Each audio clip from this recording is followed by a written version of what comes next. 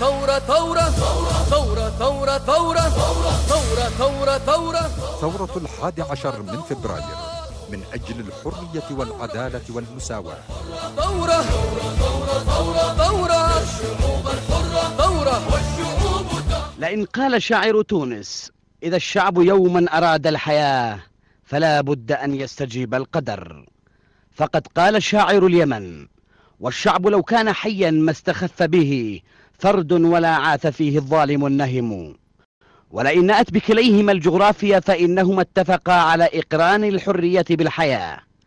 ولو قيل أن الشعب التونسي هب في ديسمبر 2010 فإن الحراك الجنوبي السلمي انطلق عام 2007 ومعه تزامن تأسيس ساحة الحرية أمام مجلس الوزراء. قبلهما كان اللقاء المشترك قد رسم ملامح الإصلاح الشامل في مبادرته التي أطلقها عام 2005 ودشن بها نضاله السلمي ومناصحاته ومراجعاته للفرد المستبد لكنها كانت كنداء الأصم إذا ولى مدبرا. في قراءة تسلسلية لثورة التغيير الشبابية الشعبية السلمية في اليمن فإن مخاض التغيير بدأ مع مطلع يناير في ظل إصرار الفرد الحاكم على فرض تعديلات دستورية تمنحه التمديد وتمهد لولي عهده التوريث. لوح اللقاء المشترك بالهبة الشعبية وهدد بالشارع لكن الطغيان اتخذ إلهه هواه فأظله الله على علم منه.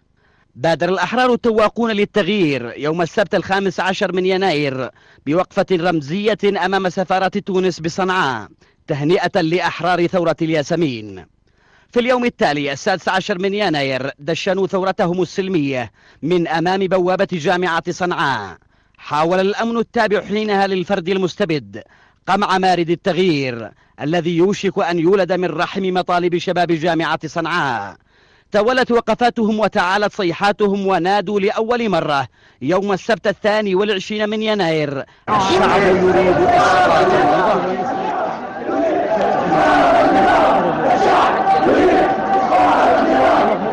في اليوم التالي الأحد الثالث والعشرين من يناير ارتكب النظام الساقط حماقة لن تنسى باعتقال الناشطة توكل كرمان التحريض على ارتكاب أعمال فوضى وشغب وتقويض السلم الاجتماعي العام. وفي اليوم التالي الرابع والعشرين من يناير تداعى الأحرار من كل حدب إلى مقر النائب العام فأفرجوا عنها وهم صاغرين. وكان أول ما قالته عقب خروجها ثورة الياسمين ستستمر حتى يسقط هذا النظام الظالم. في نفس اليوم الرابع والعشرين من يناير المخلوع يلقي خطابا يقول فيه اليمن ليست تونس. وإحنا جالسين مع معتصمين حتى يسقط النظام. يا ابني ما عي... ما عيتبش هذا الكلام. الشعب اليمني ما هوش تونس ولا هو مصر. الشعب اليمني شعب ثاني شعب ثاني.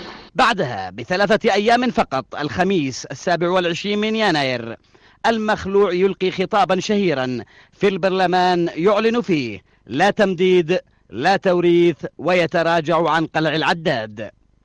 يوم الخميس الثالث من فبراير حشد اللقاء المشترك الجماهير لما سمي الهبة الشعبية في أكبر تظاهرة شعبية يشهدها اليمن منذ عقود.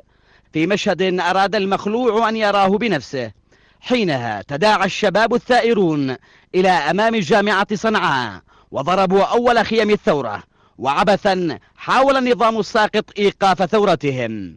من تعز بادر ثوار تعز يوم الجمعة الثامن عشر من فبراير. تنادت المحافظات إلى قطار التغيير فحققت عدن يوم السادس عشر من فبراير. قصب السبق بارتقاء أول شهداء التغيير محمد علي شاعن من ساحة الأبطال في المنصورة. كان واحدا من 12 شهيدا قدمتهم عدن في فبراير المجيد. في صنعاء تشكل المشهد الأجمل والأقوى ولأول مرة. أنصت الجميع في مشهد مؤثر للنشيد الوطني. وكان ذلك اليوم ميلاد مارد الثورة.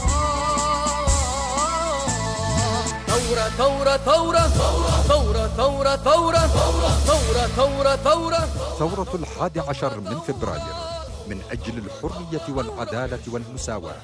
ثورة ثورة ثورة ثورة الشعوب الحرة ثورة